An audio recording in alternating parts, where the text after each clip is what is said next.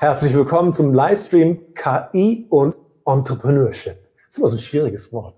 Ja, Entrepreneurship. Aber ich finde es ganz toll. Es geht gut von der Zunge. Diese Veranstaltung wurde präsentiert vom KI Campus, der Lernplattform für künstliche Intelligenz.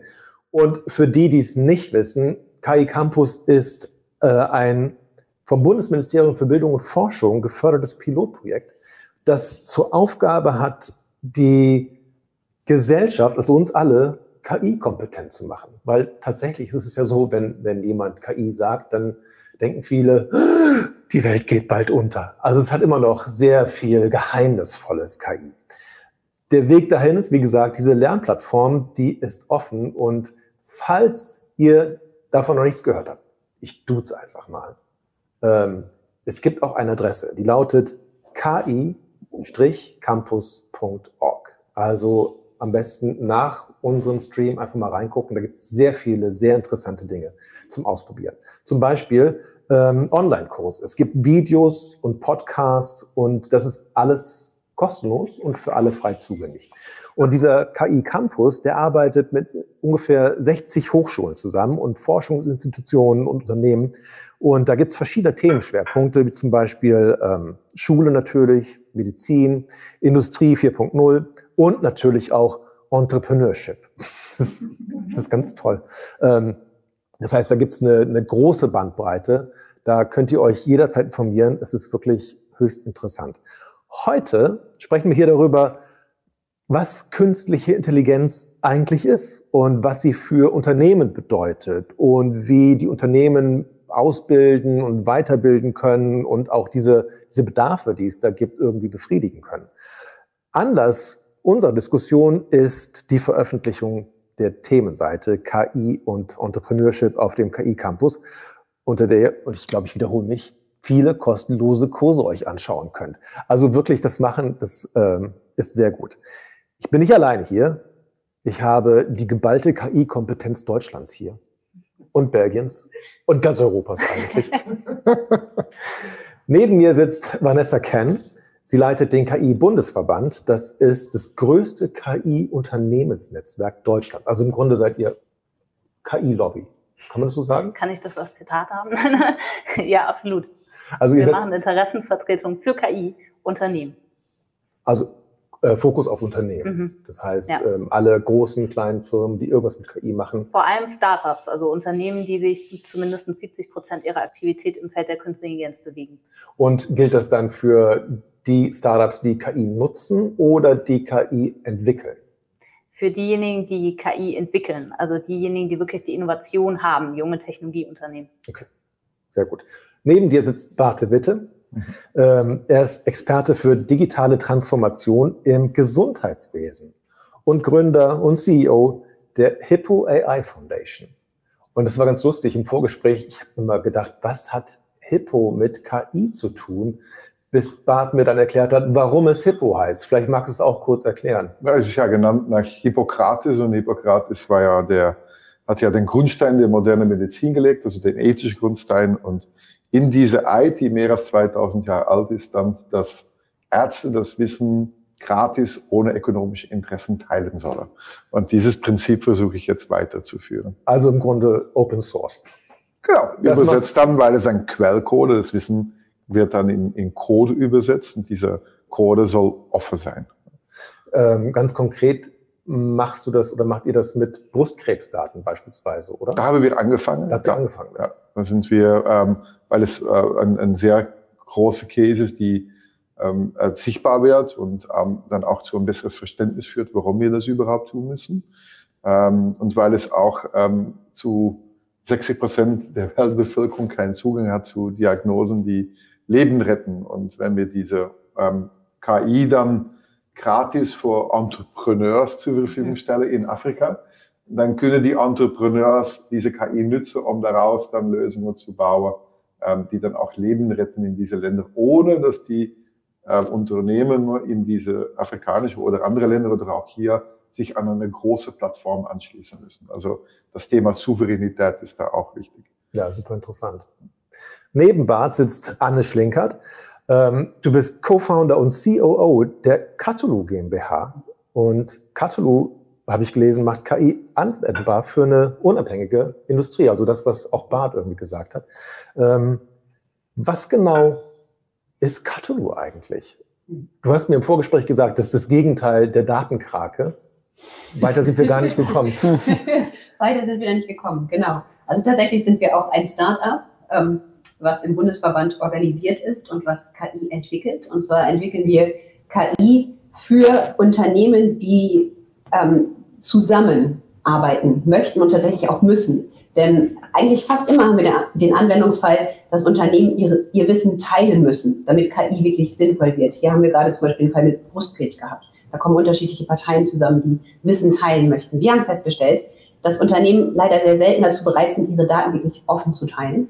Weshalb wir das Ganze umgedreht haben und sagen, Datensouveränität muss da sein, damit Unternehmen bereit sind, zusammenzuarbeiten. Die stellen wir im Datenökosystem sicher. Und so können Unternehmen ihr Wissen teilen, nicht aber die Rohdaten und ähm, KI gemeinschaftlich nutzen und dabei tatsächlich Datensouveränität, aber auch ihre eigene Souveränität nutzen. Denn wir haben ja auch große und kleine Unternehmen und die Großen sollen ja auch die Kleinen ähm, ja, fressen. Ja. Wäre schön, wenn wir es nicht immer machen würden. Auch sehr spannend. Neben dir sitzt Alexander Brehm. Du bist seit Januar 2020 an der Universität Stuttgart Direktor des Instituts für Entrepreneurship und Innovationsforschung und Professor für Entrepreneurship in Technologie und Digitalisierung. Habe ich das so richtig vorgelesen? Ja, richtig vorgelesen. Und es fehlt sogar noch was. Der ist nämlich vom Daimler vom Stifterverband gefördert. Soweit, das wollte ich auch noch sagen, ja. Genau. Ähm, auf was fokussiert sich das Institut? Ja, also die Universität Stuttgart ist eine technische Universität, auch eine sehr große Universität. Und äh, der Lehrstuhl wurde neu geschaffen, um das ganze Thema Unternehmertum, wie man Entrepreneurship auch noch bezeichnen könnte, in die Breite der Universität dann auch zu bringen. Das heißt, wir betreuen tatsächlich auch Studierende äh, oder Doktorandinnen, Doktoranden, Professoren, die Gründungsideen haben, ganz konkret auch in welche Richtung wir es weiterentwickeln können. Also was ganz praktisch orientiertes eigentlich. Tatsächlich ganz praktisch. In der Forschung schauen wir uns natürlich die andere Seite an. Mhm. Welche Erfolgsfaktoren gibt es da? Wie kann man da Dinge besser machen? Äh, aber wir machen tatsächlich auch das, das Doing und das macht auch sehr viel Spaß, weil ich da auch sehr viel lerne dabei. Cool. Und dann haben wir noch Aljoscha Burkhardt. Burkhardt oder Burchardt? Burchardt. Burchardt, entschuldige bitte. Aljoscha ist vom Deutschen Forschungszentrum für Künstliche Intelligenz und Aljoscha betreut den Chat. Das heißt, wenn ihr Fragen habt, ihr könnt jederzeit Fragen stellen, die kommen bei Aljoscha an und du wirst dich dann im Lauf des Streams melden und die Fragen weitergeben. Du hast sogar schon eine erste Anmerkung bekommen. Auf deine Anmoderation hin hat jemand äh, gesagt, äh, was KI ist. Da würde doch gleich das große Fass aufgemacht. Das hat doch bisher noch keiner rausgefunden, was es ist, aber ich übergebe das ist, das ist wie bei Intelligenz. Kann auch jeder weiß, was es ist, aber keiner kann es definieren. oder jeder fühlt zu wissen, was es ist. Deshalb bin ich, ich meine, das ist ganz toll. Das ist so eine Art, eigentlich haben wir so den Stream fürs Buzzword-Bingo heute hier. KI und Entrepreneurship. Ich bin sehr gespannt, welche mhm. Buzzwords heute alle kommen. Aber lass uns doch einfach mal direkt anfangen. Was ist KI? Also, ich habe gerade eben schon mal gesagt, für viele Menschen ist KI immer noch sowas, oder was ist immer noch? Nur sowas, was es in Science-Fiction-Filmen gibt, was irgendwie für den Untergang der Menschheit verantwortlich sein wird. Aber es ist ja noch so viel mehr. Wer möchte anfangen? Wer traut sich? Wir haben sehr aufmerksame ZuschauerInnen. Alexander, ich meine, wenn du von der Uni kommst. Ja, ist naheliegend. Ne? Ja. ja. Also äh, es gibt natürlich verschiedene Definitionen zu künstlicher Intelligenz und wahrscheinlich haben wir auch alle ein anderes Verständnis davon. Typischerweise würde man sagen, es sind autonome Systeme, äh, die sozusagen ohne menschliches Zutun äh, aktiv werden können und Systeme, die auch anpassungsfähig sind. Das heißt, über die Zeit auch selbstständig Dinge erarbeiten können. Und insofern ein abstrakter Begriff. Aber Total abstrakt. Kannst du das, kann das irgendeiner von euch ein bisschen konkreter machen? Also ich meine, also am Ende des Tages ist es die menschliche Intelligenz durch künstliche Intelligenz ersetzen. Ich glaube, das wäre so das Endthema, wofür viele natürlich auch Angst haben. Aber ich glaube, momentan ist es sehr stark einfach datengetrieben, dass man sagt, wie kann man aus den Unmengen an Daten, die wir in der Welt haben, äh, mehr draus machen. So, glaube ich, kann man es vielleicht dann auf den Punkt bringen. Es wird trotzdem nicht geheimnisloser, muss ich sagen. Es ist immer noch sehr, sehr nebulös. Ist es ein, ein Merkmal von KI, dass keiner so genau weiß, was es eigentlich ist? Anne? Ich glaube schon, dass viele Menschen unterschiedliche Dinge damit verbinden. Also je nachdem auch, was der jeweilige Aufgabenbereich ist. Also wir beschäftigen uns zum Beispiel mit maschinellem Lernen, was ein Unterbereich von KI ist und da vor allem im Moment mit Supervised Learning. Ähm, was heißt das genau? Ähm, das bedeutet letztendlich, also erstmal um den Bereich maschinelles Lernen etwas einzugrenzen, wir arbeiten mit Beispieldaten aus der Industrie und wir ähm, schreiben Algorithmen, die dann das, die Zusammenhänge aus diesen Datenbeispielsätzen verstehen und anwenden können. Also wir möchten dann Vorhersagen ähm, für die Zukunft beispielsweise leisten. Wenn wir sagen, dass wir mit Supervised Data, äh, da, also dass wir supervised arbeiten, wir ähm, arbeiten meistens mit Daten, die gelabelt sind. Also die ähm, KI muss verstehen, was genau sich hinter einem Datensatz befindet, sozusagen. Also da gibt es einige recht populäre Beispiele, was zum Beispiel Image Recognition angeht. Ähm, die KI sieht ja nicht wie zum Beispiel ein Kind, was lernt, wie eine Katze aussieht, dass so eine Katze aussieht, sondern sie sieht Pixel rein. Also wir, wir lernen, wir Menschen lernen durch Konzepte eigentlich. Wir haben Kategorien im Kopf. Das sind Konzepte, Tier mit vier Beinen, spitzen Ohren und äh, Schnurrbarthaaren könnte eine Katze sein.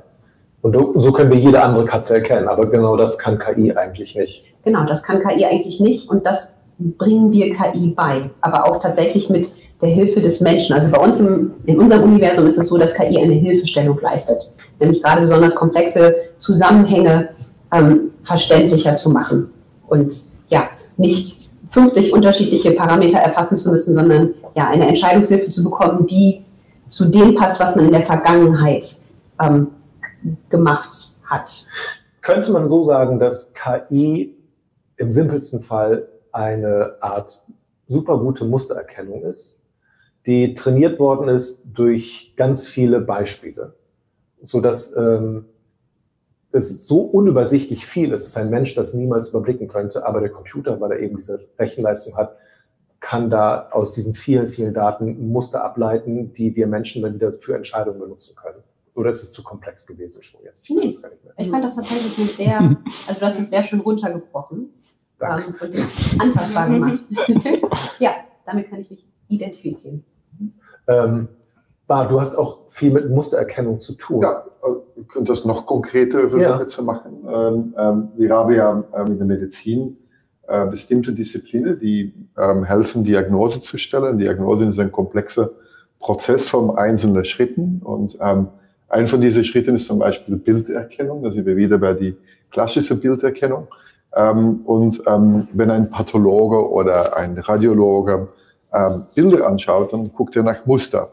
Und das ist nicht so, wenn man Radiologie studiert aus die Bücher, dass man sofort zu Radiologe wird. Also das heißt, die erfahrenen Radiologe sind ja besser als die weniger erfahrenen, weil diese Mustererkennung sind ja auch so quasi Algorithmen, die wir uns selber antrainieren. Ähm, und wir werden besser dadurch. Das ist ja nicht nur etwas Menschliches, weil ich habe früher ähm, eine Studie immer nach vorne geworfen, wo man ähm, ähm, Tauben gelernt hat, musste zu erkennen aus histopathologischer Bilder.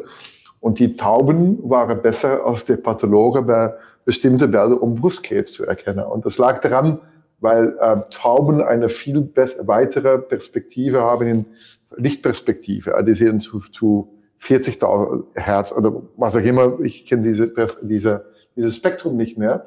Aber die viel mehr in die Tiefe und Breite schauen vom, vom Licht, konnten die mehr Muster sehen. Und das sagt dann auch etwas aus über die Maschinen, weil die Maschinen ähm, sind, haben nicht nur Augen wie wir, die Maschine können viele andere Dimensionen an Informationen anfangen zu sammeln, die wir nicht haben und dann noch viele große, größere Muster erkennen, die wir nicht mehr in der Lage sind. Und, und das ist das Spannende daran, vor allem in der Medizin, dass wenn wir dann weggehen von dieses Bilderkennung, zum Beispiel in die Präzisionsmedizin, wo wir damit Genomdaten arbeite, wo ich Sequenzen habe aus vier Buchstaben in einer unendlichen Länge, dass wir wahrscheinlich durch dieses maschinelles Lernen diese Sprache der Natur anfangen können zu verstehen. Also das ist etwas, was das menschliche Gehirn niemals verarbeiten kann.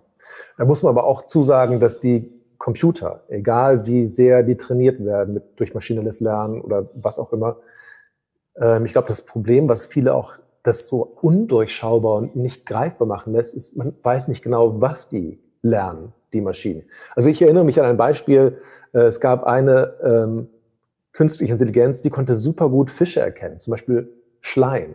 äh, weiß nicht, ob ihr es wisst, aber Schleien sind halt so Trophäenfische, sehr beliebt bei Anglern. Und die wurde eben auch mit vielen Fotos trainiert.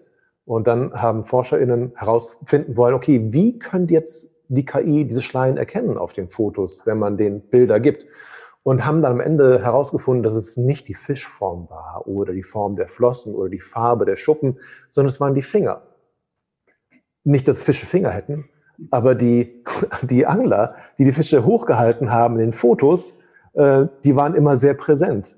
Und ähm, daran hat sich die KI orientiert. Die wusste also, okay, wenn da so Finger sind an einem Fisch, dann scheint es eine Schleie zu sein.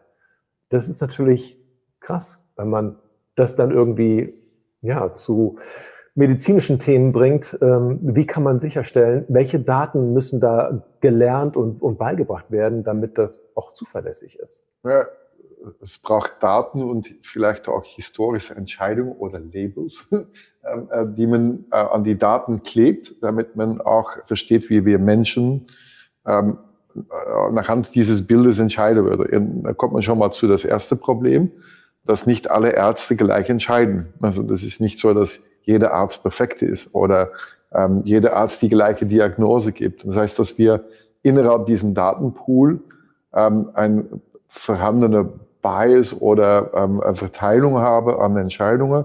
Und das macht es das Ganze komplex. Das heißt, wir brauchen nicht nur Daten, wir brauchen extrem viel Kompetenz, um die Daten zu bereinigen und ähm, ähm, nutzbar zu machen für die KI. Und das ist der, der größte Aufwand äh, für die KI-Trainierung, ist, ist die Datenaufbereitung.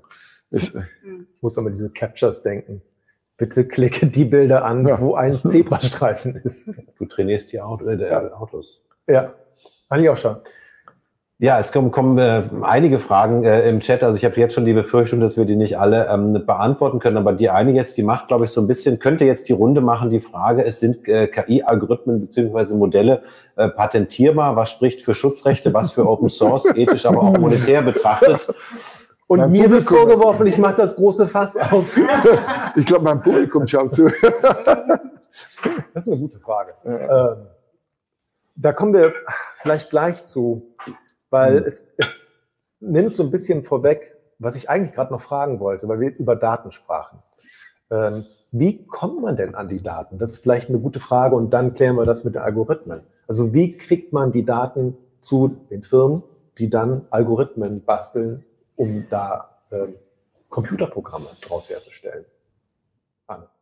Wir arbeiten mit Daten aus Maschinen, also zum Beispiel die in der Steuerung erhoben werden, die in der Edge zusammenlaufen, die in unterschiedlichen ähm, Databases bei den Kunden liegen, also zum Beispiel in SAP vorliegen, in Excel vorliegen. Und dann bilden wir Schnittstellen zu diesen Daten. Kannst du kurz konkret sagen, was es für Daten sind? Ist es, wie fest eine Stanze auf irgendein Material haut oder, oder was genau sind das für Daten?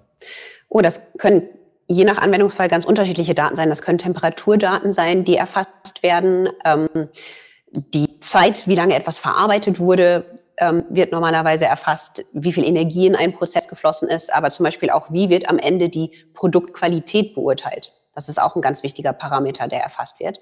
Und ähm, einige von diesen Daten liegen bereits heute vor, andere müssen zusätzlich erfasst werden, wie zum Beispiel häufig die Qualität das wird nicht überall erfasst. Also manchmal ja, wird Qualität tatsächlich kontinuierlich erfasst, aber dann häufig nicht im gleichen System. Von daher müssen wir aus mhm. unterschiedlichen Systemen diese Daten zusammenführen. Und ähm, ja, im maschinellen Bereich gibt es da einige Schnittstellen, die bereits existieren und andere müssen wir uns schaffen, tatsächlich. Aber ähm, wer hat da die Urheberschaft? Also wer ist dann sozusagen, wem gehören die Daten da? Also sind es die, die Firmen, die die Daten generiert haben oder sind es die Firmen, die die Daten verarbeitet haben? Was ist, da, was ist der Stand da? Hm. Ähm, ist jetzt die Frage, ob, also hm, wie genau deine Frage gemeint ist, ob sie rechtlich gemeint ist. Ich würde jetzt, in, in unserem Universum ist es so, dass da, wo die Daten erzeugt werden, die, die Dateneigentümerschaft, der Dateneigentümer sitzt und äh, diese Daten entsprechend nutzen kann. Ansonsten gibt es teilweise ähm, ja, rechtliche Vereinbarungen zwischen unterschiedlichen Parteien, die sich dann zum Beispiel ja, gegenseitigen Nutzen zusprechen.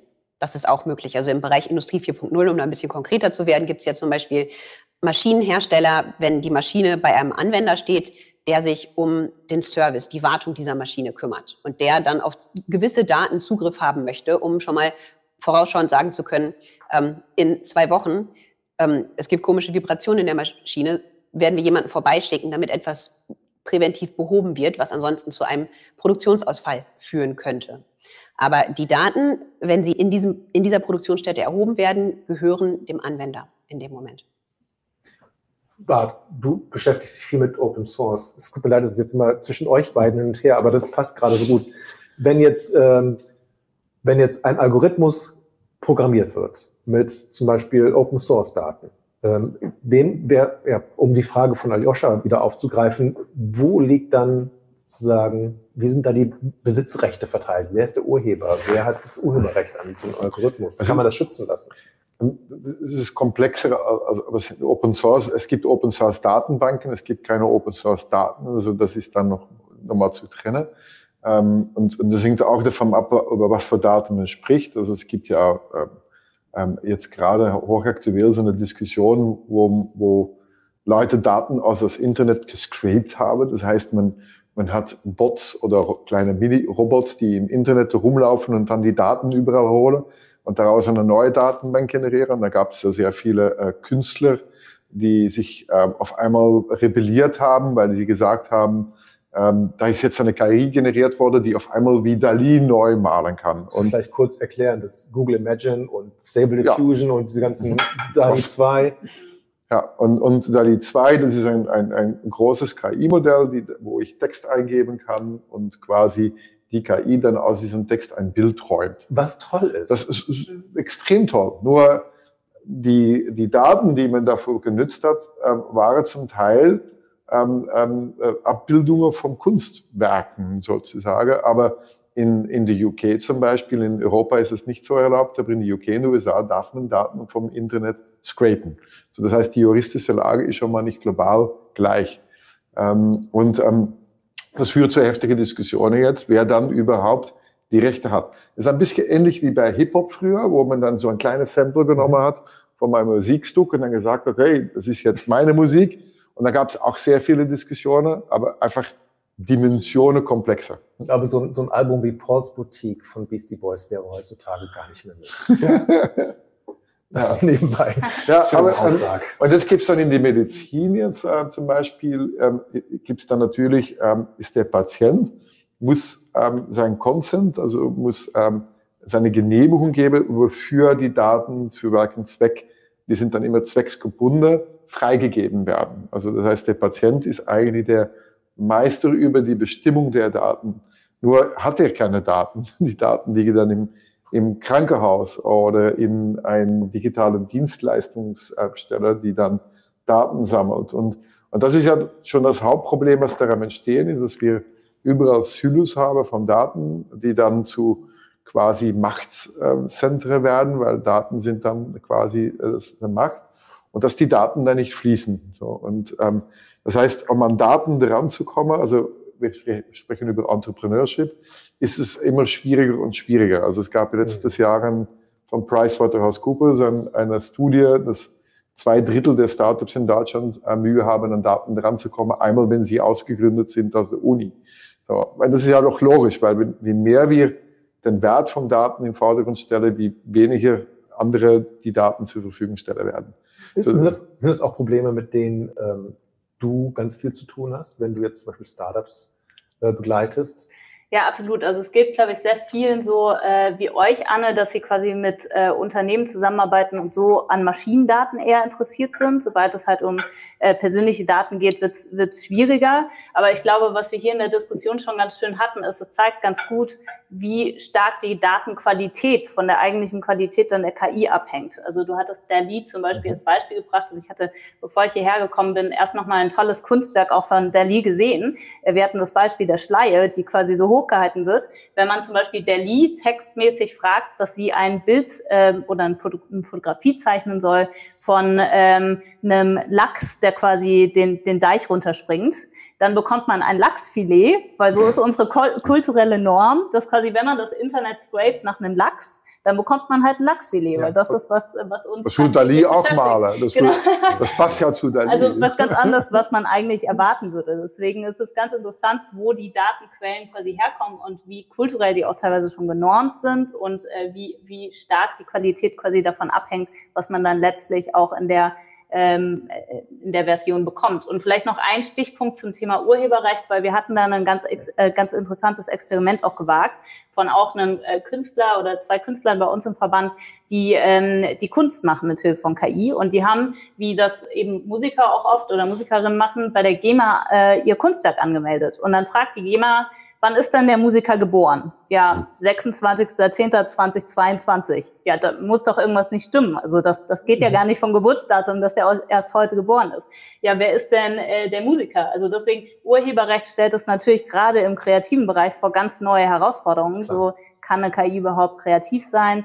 Äh, und das, das sind auf jeden Fall ganz, ganz spannende Fragen. Aber vielleicht nochmal zu deiner Ausgangsfrage zurückgekommen bezüglich Daten ist, wir sehen halt gerade im Bereich Unternehmertum äh, einen sehr, sehr starken Fokus auf Maschinendaten, weil die sind einfach leichter zu bekommen und gerade in der Europäischen Union sind natürlich ähm, Vorhaben wie, wie das Eurige, was quasi sehr kompliziert ist, an die an Daten zu kommen, leider momentan sehr stark in der, in der Minderheit. Es gibt einfach sehr wenige Unternehmen, die sich rausbilden in Bereiche, die sehr regulatorisch betroffen sind. Maschinendaten sind wahrscheinlich deshalb auch ganz dankbar, weil die schon sehr genau definiert sind, oder? Also du weißt, das ist eine Temperatur und das ist ein Gewicht. Das ist nicht so was Vages wie ein Lachsfilet, was einen dann runterschwimmt. Man kann auch Daten generieren oder synthetisieren. Das ist ja der neue Trend. Und ähm, um ein Beispiel zu geben, ähm, Tesla hat ja seine KI für autonomes Fahren äh, mit Kameras aufgebaut. Also die verwenden ja kein äh, LIDAR, also laserbasierte Ortung, und um an Bilder dran zu kommen, haben die einen riesen Supercomputer gebaut, die alle Art von Situationen einfach generiert. Und dann, dann zum Beispiel ein Elefant, die auf der Straße läuft, was es niemals geben würde in dieser Situation, werden, werden alle möglichen Kombinationen, die es mal geben könnte, simuliert, damit die KI an die Daten drankommt, um trainiert zu werden. Ähm, und die, kommen, die bekommen so viel mehr Daten als eigentlich real aus die Autos aus, abgezogen werden können. Nochmal also ein neuer Trend. Ne, total interessant. Nochmal zurück auf die Frage von, äh, aus dem Chat. Die Algorithmen, die lassen sich aber nicht patentieren oder schützen. Oder sind da die Firmen doch sehr davor? Wie sieht es bei den Startups aus? Ja, das ist äh, in Deutschland oder in Europa im Generellen noch nicht so ein großer Trend. Die Amerikaner machen das deutlich mehr, äh, auch deswegen, weil man äh, dann schon im Patentierungsprozess äh, viel auf viel Interesse stößt bei den äh, Finanzträgern zum Beispiel, also bei den VCs, den Risikokapitalgebern. Ähm, aber es wird momentan noch sehr wenig gemacht im unternehmerischen Kontext, äh, auch deswegen, weil man glaubt, dass man irgendwie haben wir so ein Mindset von wegen nur Produkte können äh, zertifiziert oder beziehungsweise auch patentiert werden. Ähm, ich glaube, das ist ein Trend, den wir sicherlich heute Abend noch losstoßen könnten. ist ja sicherlich förderlich. Muss sich mhm. noch einiges auch ja, ändern. Mhm. Gibt es noch Fragen? Äh, jede Menge. Also eine, die vielleicht noch dazu passte, äh, die DSGVO, ja, ist es für die mhm. Unternehmen eher ein Wettbewerbsnachteil oder ist es eher ein Vorteil? Das wäre vielleicht eine Frage. Und dann haben wir ein paar Fragen, die gehen wirklich, was, was sind die Trends? Wie geht man damit um, dass äh, KI ein kleiner Fehler, sagen wir, zu sehr viel Diskriminierung führen kann? Wer übernimmt die Verantwortung? Alles sehr, sehr große Fragen äh, zu denen man vielleicht dann heute nicht mehr kommen kann, aber auch konkrete Fragen. Was können, ähm, was kann man tun, um Unternehmen äh, zu helfen, KI anzunehmen? Also das, das Gefühl ist, das wird noch nicht sehr gerne angenommen. Was, was sind für Tipps für äh, Unternehmen? Ich glaube, ja, ich glaube, das ist eine gute Frage, weil es geht ja heute um Unternehmertum. Ja. Und ähm, da ist vielleicht das genau die, ähm, die richtige Richtung. Die anderen Fragen sind auch super spannend, super interessant. Aber ich glaube, gerade in unserem Kontext ist das ist eine wichtige Frage. Wie kriegt man Unternehmen dazu, nicht nur KI zu entwickeln, wenn es Startups machen, sondern KI auch zu benutzen. Und was für Möglichkeiten gibt es da? Und hilft das immer oder ist es auch manchmal problembehaftet, wenn man zum Beispiel KI im Einstellungsprozess benutzen möchte und plötzlich nicht mehr so eine diverse äh, Belegschaft hat wie vielleicht vorher? Gibt es da Erfahrungswerte bei euch? Wie kriegt man KI in Unternehmen? Ja, also man kann KI als Produkt anwenden als Unternehmen. Das ist vielleicht dann schon die äh, die Kür sozusagen, die Pflicht ist vielleicht eher KI einfach anzuwenden, um einfache Prozesse zu verbessern im Unternehmen. Und äh, da sehen wir auch zum Beispiel im Ideenmanagement, betriebliches Vorschlagswesen gibt es seit 120, 130 Jahren. Und da gibt es eine riesen Datenbank an Ideen. und immer wieder werden neue Ideen eingegeben und dann schaut irgendeiner manuell nach im Schrank, ach, gab es das nicht schon? Mhm. Und da könnte man natürlich auch so KI-Tools bauen oder verwenden, die einfach die Ideen-Datenbank bei der Eingabe der Idee schon untersuchen. Also gab es so eine Idee schon mal, wer hat die gehabt, wurde die umgesetzt, wurde die nicht umgesetzt? Also da kann man wahrscheinlich auch einen relativ einfachen Mehrwert auch schaffen mit solchen äh, Anwendungen. Also man muss nicht gleich sozusagen das große Fass aufmachen, äh, was, was sicherlich äh, hochspannend ist für die Unternehmen, sondern vielleicht auch mit sozusagen kleineren Anwendungen auch anfangen, um einfach Prozesse zu digitalisieren, Prozesse zu verbessern. Und da eignet sich natürlich sehr gut, mit Startups zusammenzuarbeiten, die solche Themen typischerweise treiben, die eben aus dem technischen Bereich auch kommen. Die praktisch als Service mehr oder weniger anbieten können. Genau, genau, richtig. Ähm, das ist die nächste Frage. Wer, wer nutzt denn dann eigentlich KI in einem Unternehmen? Weil so Datenbanken müssen ja gepflegt werden. Wenn die Daten nicht ordentlich in der Datenbank drin sind, dann bringt mir wahrscheinlich die beste KI nichts, weil die da auch keinen, keinen Sinn draus sehen kann. Also wer, wer hilft ein Unternehmen, dass die KI da auch benutzt wird und nicht nur gekauft wird und dann rumliegt und vor sich hinstaubt? Und das ist eine sehr große Frage. Okay, ich dachte, so knapp.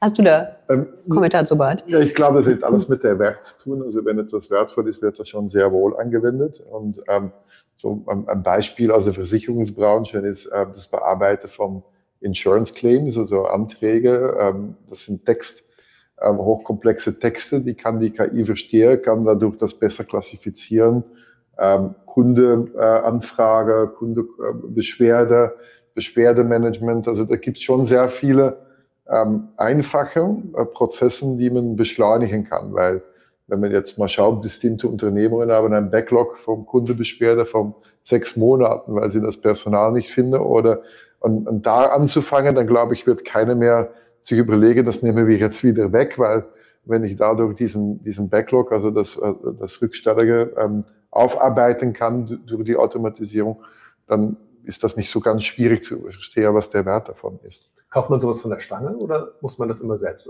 entwickeln? Teils, teils. Also man kann die, die, die Core-Technologie von der Stange kaufen. Also es gibt ja auch Startups auch in diesem, lassen wir in diesem Insurance-Claim-Bereich äh, bleiben. Es gibt ja ähm, hier in Berlin so ein Startup, die sehr stark unterwegs ist und sich rein, nur spezialisiert auf diesen Prozess und dementsprechend eine sehr gute KI anbietet, die äh, hochperformant ist und bei aller Versicherer fast eingeführt wird.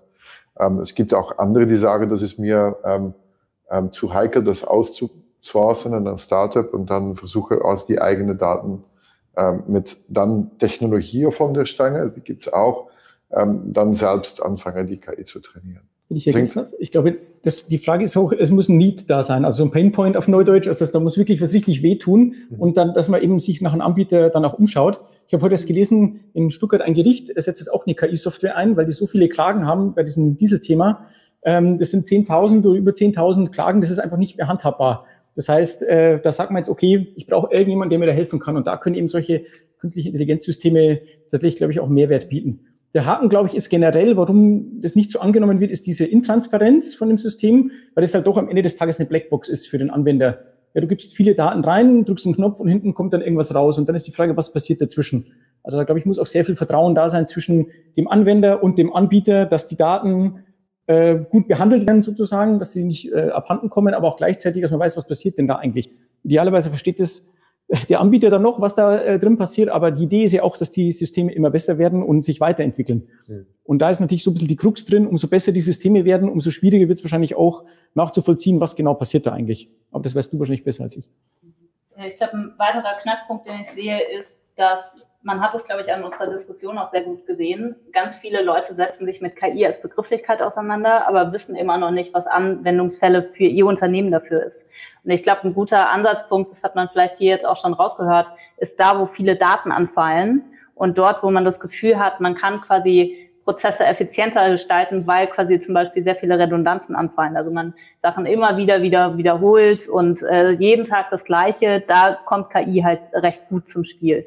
Äh, und äh, dementsprechend, ich glaube, dort anzufangen, wo, wo quasi viele Daten auch anfallen und sich dann auch natürlich, das ist die Kür, darüber hinaus nochmal zu überlegen, wo kann man nochmal Daten generieren, wo man vielleicht nochmal neue Produktpaletten auch öffnen kann und neue äh, Geschäfts-, äh, also neue, neue Produkte entwickeln kann. Äh, das, äh, das ist natürlich dann noch so on top, aber ich glaube, erstmal Ausgangspunkt ist quasi dort, wo viele Daten anfallen, da kann KI meistens auch helfen. Du wolltest noch was sagen, Anne. Ja, wir haben häufig die Diskussion, das haben wir auch schon hier anfangs gehabt, KI, ähm, um Gottes Willen. Also tatsächlich hat KI ihren Platz, auch in Unternehmen, also im Bereich Fachkräftemangel zum Beispiel, unterstützend wirklich auch neuen Kräften zu helfen, in den Job zu finden. Ähm, solche Aspekte, da ja wirklich auch mal an neue Technologien zu denken. Aber da ist auch wirklich wichtig, dass der Mensch sich nach wie vor ins Zentrum gestellt fühlt. Und äh, das ist auch wichtig, dass das vermittelt werden kann. Ich glaube, das ist ein guter Punkt, weil oft könnte ich mir vorstellen, dass KI oder Computerentscheidungen als unumstößlich äh, angesehen werden. Dabei müssten die ja auch immer hinterfragt werden. Und es mhm. muss immer der Mensch im Grunde letztentscheidend mhm. sein, damit er auch vielleicht Fehlentscheidungen oder Fehl, ja, Fehlerkennungen auch ausgleichen kann, oder? Das ist wahrscheinlich der, der, die größte Herausforderung dabei.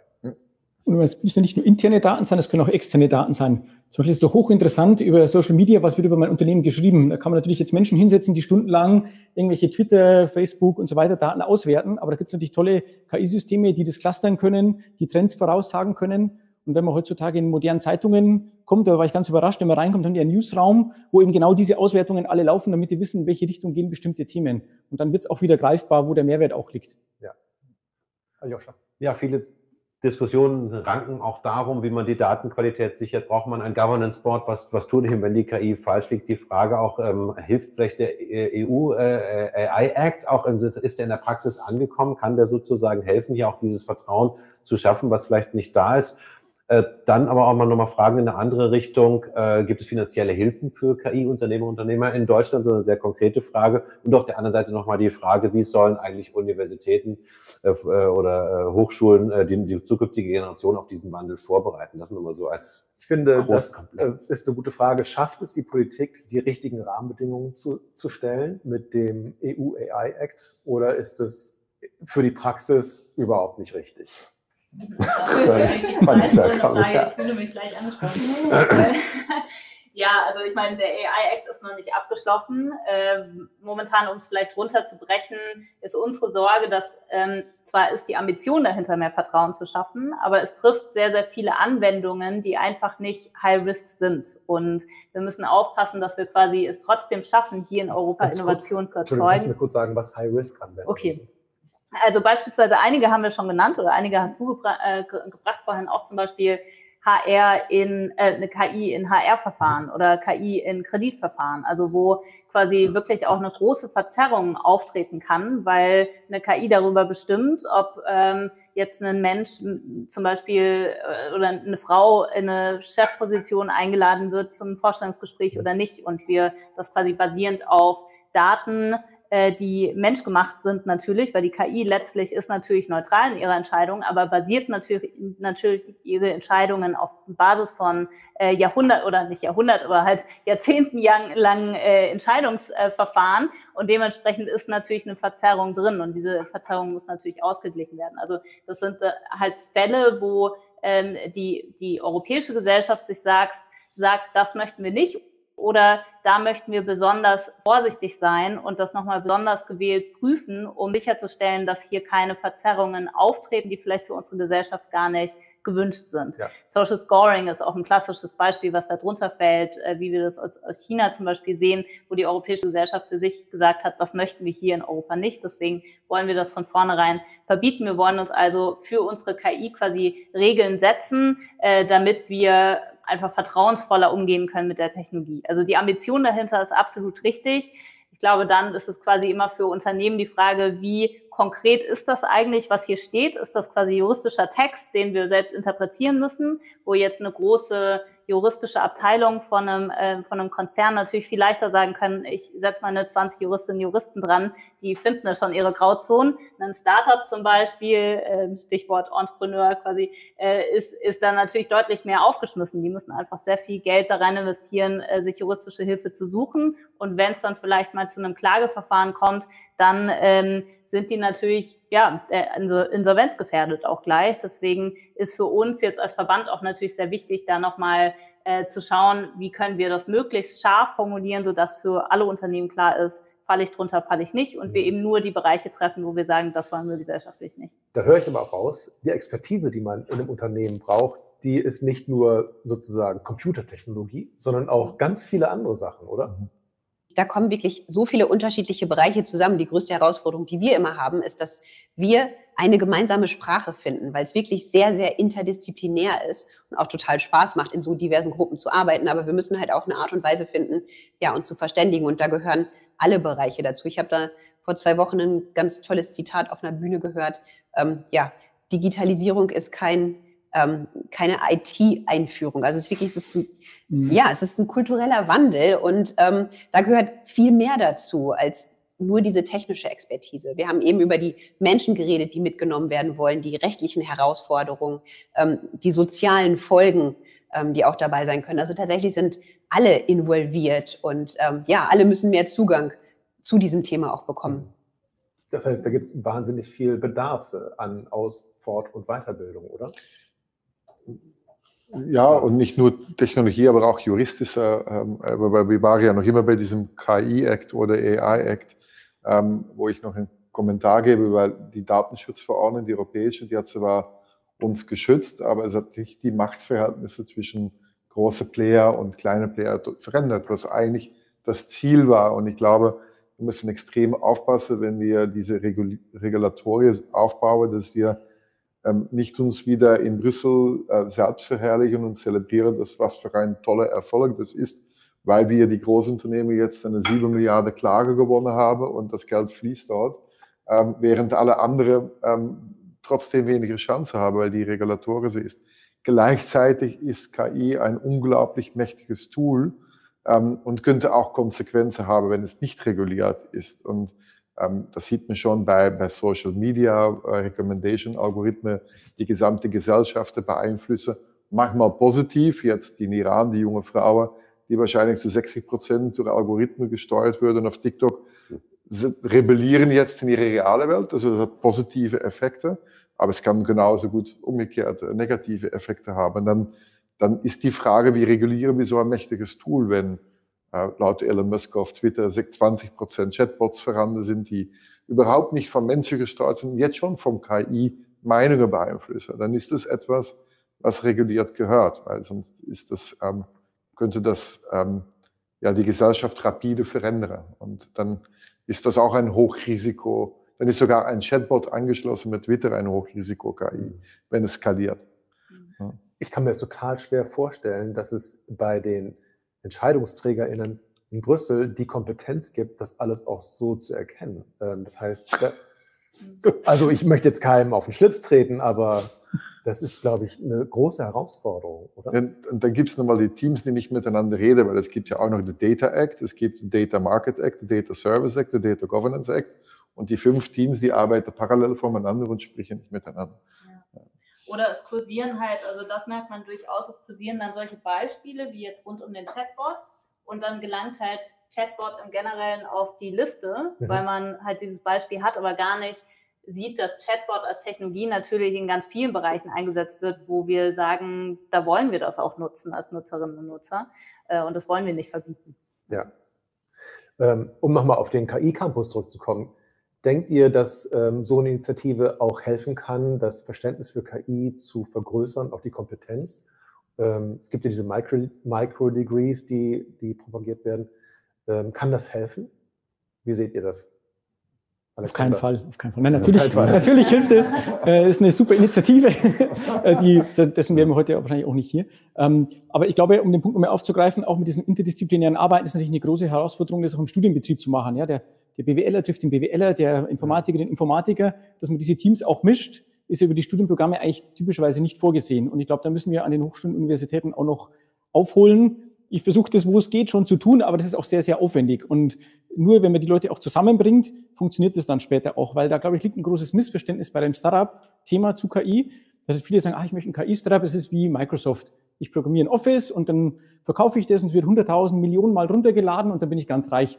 Und die KI-Startups, die wir sehen, die funktionieren eben meistens nicht so, weil man eben sehr stark in die Entwicklung erstmal gehen muss. Es ist sehr aufwendig, die Daten zu pflegen und äh, es ist sehr projektlastig. Also am Ende des Tages ist es wie eine Unternehmensberatung eigentlich, weil es sehr projektspezifische Fälle sind. Und wenn ich dann ein Team habe mit drei Informatikern, die haben super die, die ganze Technologie im Griff, aber eben nicht, äh, wie schreibe ich eine Rechnung, wie wickle ich ein Projekt ab. Und das sind auch Sachen, an was solche, solche Teams auch durchaus scheitern können. Also da geht es dann auch um dieses Matchmaking auf Neudeutsch, sozusagen die Teams richtig zusammenzubringen. Und da gibt es auch Fördermittel dazu. Also vom BMBF gibt es ja das Exist Gründerstipendium, Forschungstransfer. Die kleine Werbetrommel gibt es in ganz Deutschland an jeder Institution. Äh, da gibt es Berater, die dabei unterstützen.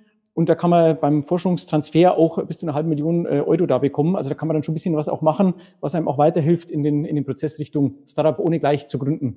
So, mhm. Weil da ist natürlich oft auch ein großer Weg dazwischen, von der Grundlagenforschung bis hin zum Markt. Aber guter Hinweis, auch für alle, die zugucken. Genau, das war die Frage, deswegen wollte ich das nur kurz mitgeben. Genau. Ja. Mhm.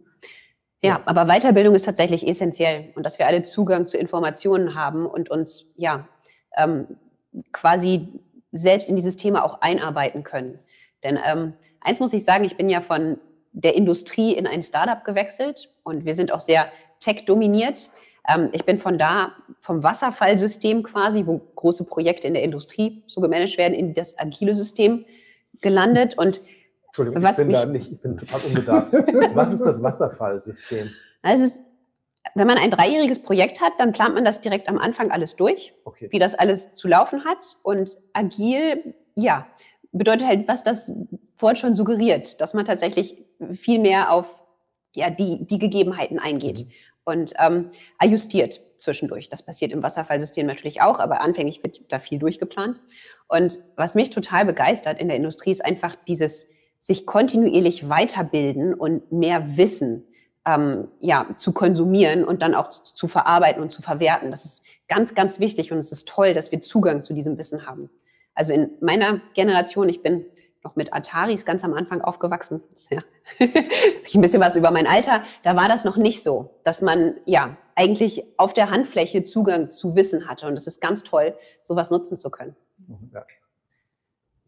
Ja, äh, ich würde vielleicht noch hinzufügen, Anne, ich finde, dein, dein Werdegang ist auch sehr, sehr sinnbildlich dafür, wie Weiterbildung eigentlich helfen sollte. Nämlich, dass du quasi aus deinem Industriebereich gemerkt hast, hier gibt es einen riesen Anwendungsfall, hier, müssen, hier gibt es eine, eine Marktlücke, ich gründe daraus ein Startup. Äh, sowas gibt es leider viel zu wenig und wir brauchen halt gerade Leute auch in der etablierten Industrie, die quasi für sich erkennen, auch wenn es, wenn es Ingenieure und Ingenieurinnen sind oder äh, wie du jetzt quasi einen Politik-BWL-Background haben, äh, die trotzdem erkennen den Mehrwert, den KI hat und dafür vielleicht nicht die richtigen sind, die die Technologie dann gleich entwickeln. Dafür gibt es dann auch von der Stange, hattest du als, als Zitat quasi gesagt, äh, auch, auch genug Produkte, die quasi helfen oder Unternehmen, die helfen, aber die zumindest erkennen, hey, hier ist ein Riesenpotenzial, was brach liegt da wollen wir rein, hier wollen wir KI anwenden, das würde uns riesig weiterhelfen. Aber dafür braucht es halt erstmal so ein Bewusstsein dafür, was KI ist und da können Weiterbildungen definitiv helfen. Das KI ist im Grunde auch ein, ein neues Werkzeug in der Toolbox und genau wie bei allen anderen Werkzeugen muss man da auch lernen, die zu benutzen.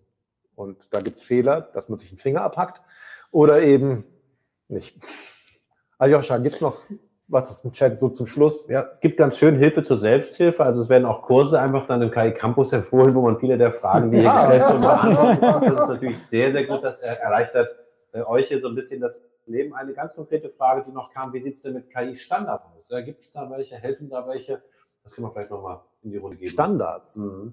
Ähm, Programmierschnittstellen, APIs oder, oder ja, gibt es da Standards oder Wie haltet ihr es mit Standards? kocht jeder sein eigenes Süppchen? Ich könnte da mal versuchen, im medizinischen Bereich gibt es schon sehr lange Standards. Es gibt dann Leitlinie normal in der Medizin, also nicht digitalisiert.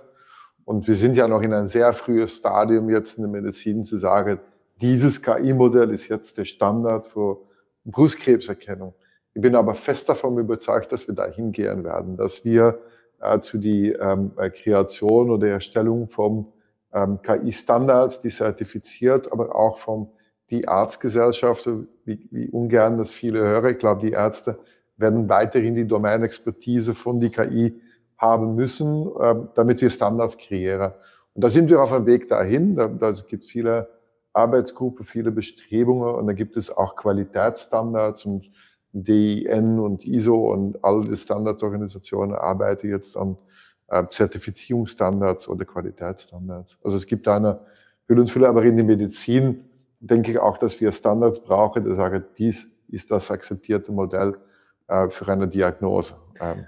Gibt es auch so jetzt weg vom technischen Standard auch so ethische Standards oder sollte es die geben äh, bei KI oder ist das was, was euch, wo ihr sagt, nee, damit, das betrifft uns jetzt gar nicht, weil wir nicht solche Daten benutzen, die irgendwie äh, ethische Konsequenzen haben könnten? Wobei bei Medizindaten ja schon eigentlich. Ne? Ja, gesellschaftlich, äh, dann ähm, versuche ich, ähm, äh, aber das Thema Ethik ist natürlich sehr schwierig, weil es gibt ja keine globale Moral und ähm, wenn man in, in, ähm, ähm in, in Daten anfängt, bestimmte Standards zu legen, also ich gebe mal ein provokatives Beispiel, wenn ich jetzt DALI, diesen der KI, äh, die, die ein geschlossenes System ist, nicht Open Source ist und da einen Text schreibt, ähm, ähm, gib mir ein Bild vom Prophet Mohammed, dann kommt ein Text, dass das nicht erzeugbar ist, weil das nicht erlaubt ist, äh, aus einem bestimmten religiösen Kontext dieses Bild zu zeigen. Wenn ich aber zu Stable Diffusion gehe, dann krieg, kann ich ihn sogar ein Bier trinken lassen ähm, und wird das Bild kreiert. Und jetzt gibt es ähm, zwei philosophische Ansätze, dass man die Ethik schon einbaut in die Daten, aber dann sagt man, okay, wer bestimmt das dann eigentlich, dass diese Art von Regulatorik in ein freies Land, wo religiöse Gesetze nicht stehen für diese Freiheit, dass das reinlandet. Und das wird dann schon ganz komplex. Und ich glaube, sehr viel von die ethischen Diskussionen werde jetzt genützt, um eben gerade richtig ein, ein, ein bestimmter moralischer Wert zu designen und zu skalieren in, in das Weltbild. Und ähm, das hat man gesehen in Frankreich, wo äh, die genderneutrale Sprache abgelehnt wird von das Ministerium ähm, das Bildungsministerium trotzdem Google Autocorrect über seine Algorithmen diese Sprache einführt. Ähm, und, und das sind dann Widersprüche im Sinne von Ethik, Demokratie und da wird das schon ganz kompliziert. Ähm, also das Thema Ethik ist schon wichtig, aber man muss echt aufpassen, dass wir keine globale oder moralische und ethische Werte aus einem anderen Land damit transportieren und wir sollen das eigentlich immer in der lokalen soziale, also soziokulturelle Kontext anpassen. Ähm, und das heißt, die globale Standards finde ich äh, sehr Alexander, schwierig. Ja, da kommt ein bisschen skeptisch. Oder stundenlang drüber sprechen. Ich glaube auch, das war jetzt die, die äh, tollste letzte Frage. Sehr, sehr spannendes Thema mit diesen formellen und informellen Standards sicherlich. Also da gibt es ja auch welche, die sie schon durchsetzen. Ähm, ich glaube, aus Unternehmensperspektive gibt es äh, zumindest ein paar so Leitlinien, was man sich ranhangeln kann, weil das natürlich die gesellschaftliche Debatte ist schon eine sehr große. Und da gibt es auch von der EU übrigens getrieben, das nennt sich Responsible Research and Innovation Responsible Innovation, wo man versucht, wie kann ich als Unternehmen mir Prinzipien festschreiben, damit ich zumindest versuche, entlang meines Produktentwicklungsprozesses Nachhaltigkeit oder ethische Perspektiven zu berücksichtigen. Und ich glaube, das hilft schon mal wieder als Tool oder als auf Tool-Ebene, um an den einzelnen Schritten bestimmte äh, Gruppen von außerhalb mit dazu zu holen, um die mit drauf schauen zu lassen, ist denn der Prozess so sinnvoll, ist das Produkt äh, so angepasst, dass es funktioniert, um praktisch diesen ganzen Prozess so ein bisschen abzusichern. So ganz schlussendlich wird es wahrscheinlich nie ethisch einwandfrei sein, ähm, weil es da einfach zu viele Standards auch gibt. Wenn man sich in der Welt da umschaut, ähm, ja. was der eine toll findet, findet der andere fürchterlich und äh, man sieht es ja im Politischen, das ändert sich ja auch über die Zeit äh, in ganz erstaunliche Richtungen. Und insofern, glaube ich, ist es echt schwierig, da Richtung Standards in, in der Richtung Ethik zu denken. Aber ich glaube, es muss jeder versuchen, zumindest nach bestem Wissen und Gewissen ähm, das abzubilden. Vielen Dank. Wenn ihr euch jetzt noch zum Ende sozusagen etwas wünschen könntet, was, was die Gesellschaft oder was Startups oder was, was die Menschen mit über KI wissen sollten, was, was wäre das? Oder was ist so der beste Startpunkt? Was meinst du? Der beste, ich wollte gerade schon Richtung Offenheit was sagen, weil das würde ich mir wünschen, dass wir quasi offener sind gegenüber neuen Technologien und einfach experimentierfreudig und erstmal uns anschauen, was kommt da auf uns zu und äh, dann unsere Meinung bilden. Ich habe oft das Gefühl, unsere Meinung ist schon gebildet, obwohl wir gar nicht wissen, worum es eigentlich geht. Ähm, genau, das, das definitiv. Ich glaube, der erste Startpunkt, den ich sehen würde für Unternehmen, ist definitiv, dass man sich die Datenlage anschaut und davon ausgeht ähm, und sich anschaut, welche Anwendungsfällen sind mit diesen Daten möglich. Mhm. Wie siehst du es? Ja, ich würde bei Offenheit wieder weitergehen. Ich glaube, wir brauchen auch, ähm, also manchmal hat man das Gefühl, wenn man Sachen entwickelt in einer Firma, dass man das allein machen muss. Und ich glaube, wir brauchen Offenheit zur Zusammenarbeit. Mhm. Also wie ihr das macht. Ich glaube, dass der Erfolg Europas ähm, ein Modell sein könnte, wo wir vielleicht eventuell Open Source oder ähm, auf jeden Fall offen durch Zusammenarbeit diese, diese Technologien entwickeln, weil sie dann doch schon sehr viel Ressourcen manchmal brauchen und die Ressourcen am besten funktionieren, wenn man sie teilt. Und ähm, wenn wir das tun können, mehr zusammenarbeiten, mehr zusammenkommen, dann haben wir alle gute Chancen zu gewinnen. Anne. Jetzt frage ich mich, wie ich auf diesen zwei tollen Stichworten aufsetzen kann, denn sie ähm, entsprechen auch sehr dem, was, was ich mir wünsche, tatsächlich. Ich glaube, das Thema Anpacken finde ich auch sehr wichtig. Ähm, dass wir teilweise aufgrund der Weltlage im Moment gerne in eine gewisse ähm, ähm, Victim-Opferrolle verfallen und ähm, dass wir das Ganze umdrehen und wirklich auch mal eine, diese Offenheit bringen und sehen, wenn wir das alle zusammen anpacken, wie können wir das dann zu unserem Vorteil drehen? Denn in Krisen können auch viele tolle Dinge geboren werden. Und ähm, ja, diese Einstellung dazu, die wünsche ich mir. Mhm. Alexander. Ja, jetzt wird schwierig nach dem Motto, ja, es wurde schon gesagt, aber nicht von mir, da könnte man alles nochmal wiederholen, aber ich glaube einfach diese, diese Neugierde, die du erwähnt hast und diese Offenheit, äh, sich Dinge einfach erstmal anzuschauen und einfach auch auf die Fakten zu schauen. Also was kann so ein Tool, was kann es nicht, ähm, welche Anwendungsfelder machen Sinn, welche machen weniger Sinn und dann einfach faktenbasiert einfach entscheiden und sich vielleicht nicht immer durch, einen ersten, durch eine erste Reaktion emotionaler Art dann abschrecken lassen. Also ich glaube, man muss da immer neu draufschauen und es gibt immer was zu lernen. Das hört nie auf. Ich glaube, ich würde mir wünschen, dass es alles so ein bisschen auf dem Boden der Tatsachen bleibt und nicht so ins, keine Ahnung, wohin gehoben wird, in welche Sphären, sondern dass man einfach sieht, das ist eigentlich nur ein Computerprogramm, was äh, tolle Sachen erkennen kann, aber es ist nicht, nicht äh, der heilige Gral oder so, dass so ein bisschen bodenständiger bleibt. Das wäre, glaube ich, ein, ein großer Wunsch von mir. Aljoscha, ich habe ich nicht vergessen. Ich wollte dir das letzte Wort geben. ich finde es mit dem, mit, dem, mit dem Bodenständigen wirklich auch gut. Wir reden ja wirklich über diese schwache KI. Das sind ja die KI-Systeme, die wir zu unseren Zwecken, mit unseren Zielen trainieren und bauen. Das müssen wir immer wieder im Sinn haben. Für die ganzen Dinge, die wir immer diskutieren, über Datenschutz und Ethik, das sind ja jetzt keine Showstopper, das soll uns nicht davon abhalten, sondern das sind ja gerade die Dinge, über die wir diskutieren und Lösungen finden und dann unsere europäischen Werte einbauen in die Systeme und die Systeme laufen lassen. Also ich denke auch, das sind alles, das kann man alles lösungsorientiert diskutieren und nicht äh, äh als Sau durch die, durchs Dorf treiben, um nichts zu tun. Danke euch sehr. Ich fand es total interessant. Ich glaube, es wäre unproblematisch, einfach noch drei Stunden weiter zu diskutieren. Vielleicht können wir das ja irgendwann nochmal wieder aufnehmen, den Faden. Danke, dass ihr zugesehen habt. Und bitte, falls euch das Thema interessiert, vergesst nicht die Seite www.ki-campus.org. Da gibt es unglaublich viele Informationen und es hilft, den Weg zu bereiten, dass es alles nicht so geheimnisvoll bleibt, sondern dass es etwas greifbarer wird. Schön, dass ihr dabei wart. Schön, dass ihr dabei wart. Ich hoffe, bis bald. Tschüss.